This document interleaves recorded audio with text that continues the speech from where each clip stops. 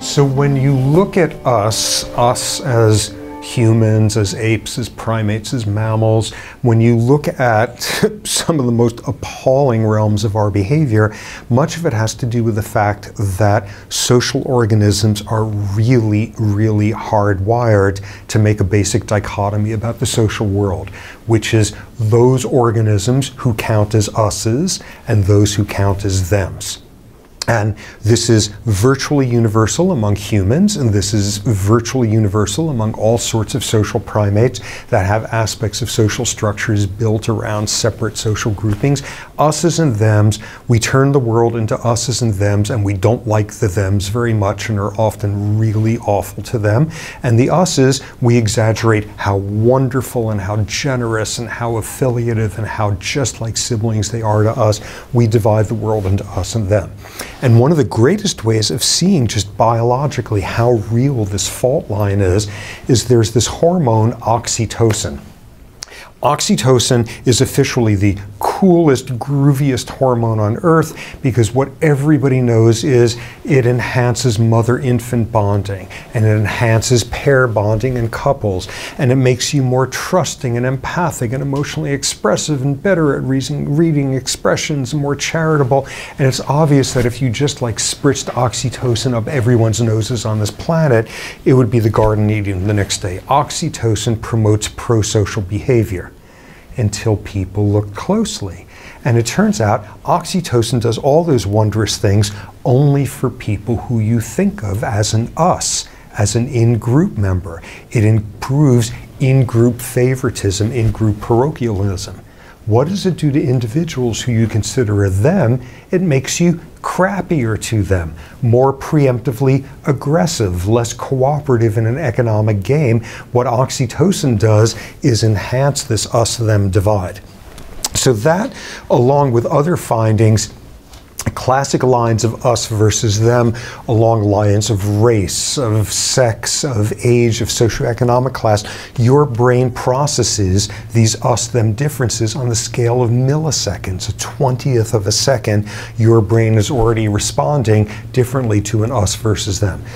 okay, so collectively, this is depressing as hell. Oh my God, we are hardwired to inevitably be awful to thems and thems along all sorts of disturbing lines of, oh, if only we could overcome these us them dichotomies, the world would. Oh no, are we hardwired to divide the world along lines of race and ethnicity and nationality and all those disturbing things? And what becomes clear is when you look closely is it is virtually inevitable that we divide the world into us's and them's and don't like them's very much and don't treat them well, but we are incredibly easily manipulated as to who counts as an us and who counts as a them. And those fault lines that we view as, oh my God, how ancient can you get that say somebody of another race evokes limbic responses in us commensurate with they are a them they respond they motivate automatic responses. Oh my god is that just a basic fault line? And then you do something like have faces of same race versus other race and either they are or aren't wearing a baseball cap with your favorite team's logo on it and you completely redefine who's an us us is people who like the Yankees, and them are Red Sox fans. And suddenly you're processing within milliseconds what damn baseball cap they have and races being completely ignored. Oh my God, we are inevitably hardwired to make really distressing us them. We're manipulated within seconds as to who counts as an us as a them. Good news with that, we can manipulate us out of some of our worst us them dichotomies and recategorize people.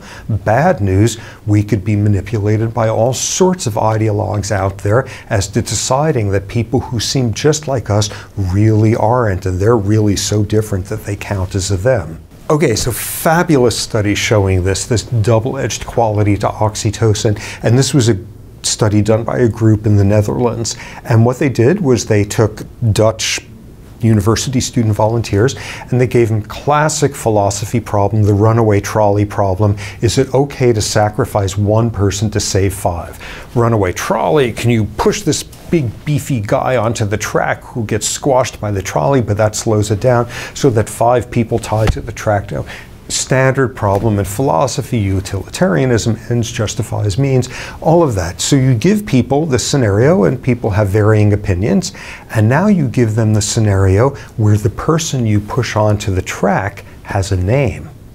And either it's a standard name from Netherlands, Dirk, I think, who's like a Pieter or something, which like if you're this is like a, a, like a meat and potatoes Netherlandish name, or a name from either of two groups that evoke lots of xenophobic hostility among people from the Netherlands.